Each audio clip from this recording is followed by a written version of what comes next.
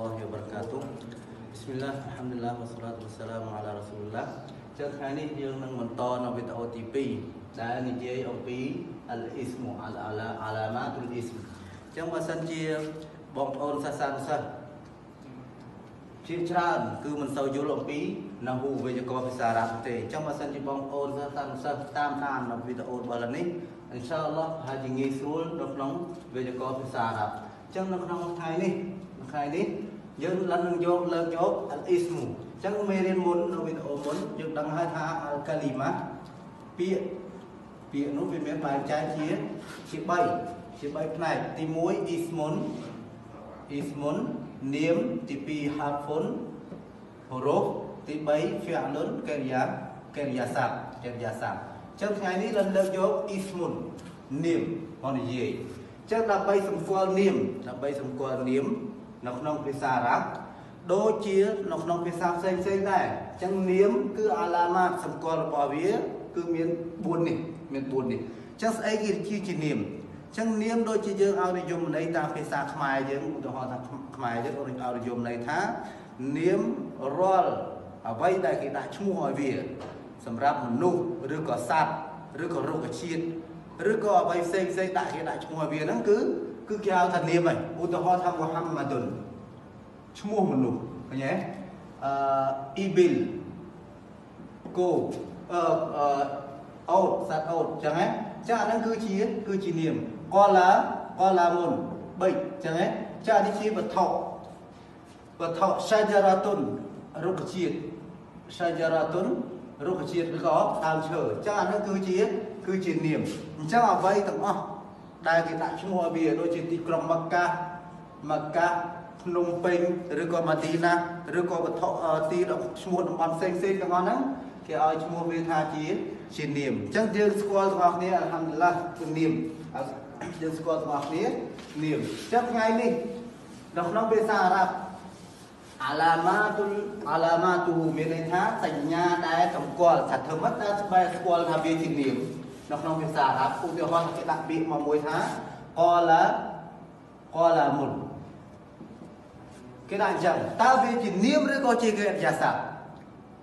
ចិត្តសញ្ញាសម្គាល់របស់វាទី1អលជាមានន័យថា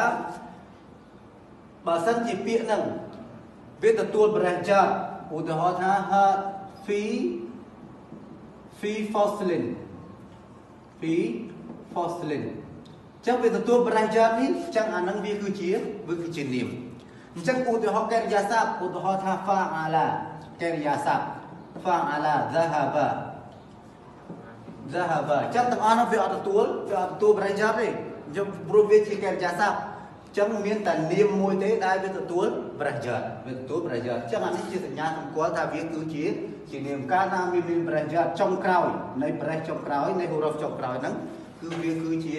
គឺវាគឺជានាមវាគឺជាវាគឺជានាមទី2អតិនវីនអតិនវីនចឹងរាល់ពាក្យទាំងអស់ដែលមាន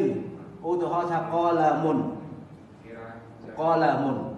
ចឹងតាន់វីនឃើញទេវាតាន់វីនសំ số 3 vitamin A ឬក៏អឡាម៉ាន់ឬក៏អឡាម៉ាន់រ៉ាន់វីអ៊ុនឬក៏អានឬក៏អេនអឡាមីនអញ្ចឹងឲ្យតែមានតាន់វីនគឺរាល់រាល់ពាក្យដែលមានតាន់វីនទាំងអស់គឺសុទ្ធតែជាសុទ្ធតែជានាមរាល់ពាក្យដែលមានតាន់វីនទាំងអស់ហ្នឹងគឺសុទ្ធតែជាសុទ្ធតែជានាមឧទាហរណ៍ផ្សេងទៀតឧទាហរណ៍ថា mudarrisa mudarrisatun mudarrisa សាទុនអញ្ចឹងអាពាកចុងក្រោយប្រេះចុងក្រោយនេះគឺតាន់រីនប្រេះអ៊ុនអញ្ចឹងអាហ្នឹងគឺសម្គាល់សញ្ញាសម្គាល់ថាវាគឺជាវាគឺជានាមអញ្ចឹងទី1ចើយ៉ាទី2តាន់វីនតាន់វីនសូម្បីវាតាន់វីនអ៊ុនឬក៏អានឬក៏អេនក៏ដោយគឺវាជាសញ្ញាសម្គាល់ថាវាជានាមទី3អាននីដាអ៊ូអាននីដាអាននីដានេះប្រែថាម៉េចការហៅឧទាហរណ៍ថាយើងហៅថាយ៉ាមូហាំម៉ាឌុនយ៉ា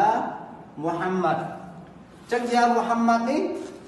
កាលណាចូលយ៉ាអានីដាមកនាមដែលនៅក្រោយវាពាក្យដែលនៅក្រោយវាគឺជាគឺជានាមឧទាហរណ៍ថាយើងហៅយើងហៅគ្នាថាអាអាអ៊ីប្រាហ៊ីមអាអ៊ីប្រាហ៊ីមអានេះជា harfu nida ចឹងហ៎ចានេះវានាមនៅក្រោយវាគឺជាគឺជានាមវាគឺជាវាគឺជានាមចឹងឧទាហរណ៍ថាអញ្ចឹង នៅសញ្ញាសញ្ញាដែលសម្គាល់ថាវាគឺជានាមទី3គឺអានីដាអញ្ចឹងរាល់ការហៅយើងហៅគ្នាឧទាហរណ៍ថាយ៉ាមូហាម៉ាត់ឬក៏យ៉ាអ៊ីប្រាហ៊ីមយ៉ាអាហ្មាត់ឬក៏យ៉ាមូហាន់ឌីសយ៉ាវិស្វករវិស្វករអញ្ចឹងឧទាហរណ៍ថាបន្ទាប់ពីពាក្យដែលបន្ទាប់ពីបន្ទាប់ពីនាមមកអូបន្ទាប់ពីយ៉ាអានីដានេះមកឬក៏គេហៅថាហូរូហ្វនីដាមក ហូរូហ្វដែលគេសម្រាប់ហៅគ្នាមកគឺអញ្ចឹងនាមនៅពាក្យដែលនៅខាងក្រៅវាគឺជាគឺជានាមហើយគឺជានាមទី4ទី4សញ្ញាសម្គាល់អាឡាម៉ាតអលអ៊ីស្មាអលអសអស្មាសញ្ញាសម្គាល់នាមទី4គឺអតារីហ្វប៊ីអលចឹងគេសម្គាល់វាដោយដោយមានអលចឹងគ្រប់ពាក្យដែលមានអលឧទាហរណ៍ថាអលកឡាអលកឡាមូឃើញទេចឹងមានអលពីមុខ កាលណាមានអលពីមុខវាគឺជាវាគឺជានាមអលមូហាន់ឌីសមូហាន់ឌីស៊ូ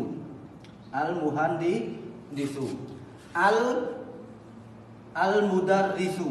ឃើញទេចឹងកាលណាមានអលនៅពីមុខអាហ្នឹងគឺគឺជាគឺជានាមចឹងគ្រប់ពាក្យភាសាអារ៉ាប់ដែលមានអលនៅពីមុខគឺជាសញ្ញាសម្គាល់ដែលវាជាគឺជាគឺជានាមអញ្ចឹងសរុបសេចក្តីមកជា ជាជាសង្ខេបមេរៀនរបស់យើង គឺអាឡាម៉ាដែលយើងសម្គាល់ថាវាគឺជានាមវាគឺជានាមអញ្ចឹងទី1អលយ៉ាត់បរេះក្រោមដែលនាមទាំងឡាយពាក្យទាំងឡាយដែលមានបរេះក្រោមវាគឺជាវាគឺជានាមទី2តាន់វីនគឺមានតាន់វីនអាអ៊ុនអានអិនអញ្ចឹងបើសិនជាពាក្យទាំងឡាយណាដែលមានតាន់វីនគឺវាគឺជាអាឡាម៉ាតុលអ៊ីស្មអាននីដាកាហាវ ចឹងបើថាជាឧទាហរណ៍ថាយើងចូលអាអាក៏បានយ៉ាក៏បានចឹងអានឹងចឹងចឹងគឺជា harfuruf nida ចឹងវាពាក្យដែលនៅខាងក្រៅវាគឺជាគឺជានាម ទីបាទី4 al ចឹងពាក្យទាំងឡាយណាដែលមាន al នៅពីមុខដែលមាន al នៅពីមុខវាហ្នឹងជាប់វាហ្នឹងគឺវាគឺជា alamatu alamatul tul ism ចឹងថ្ងៃនេះអល់ហាំឌុលឡាយើងបញ្ចប់វីដេអូរបស់យើងតែប៉ុណ្ណឹងវបិលឡាហ៊ីតោហ្វិកវ៉ាលហ៊ីដាយ៉ាវ៉ាសសាឡាមអាឡៃគុំវ៉ារ៉ាហ្មាតុលឡាហ៊ីវ៉ាបារកាតុហ៍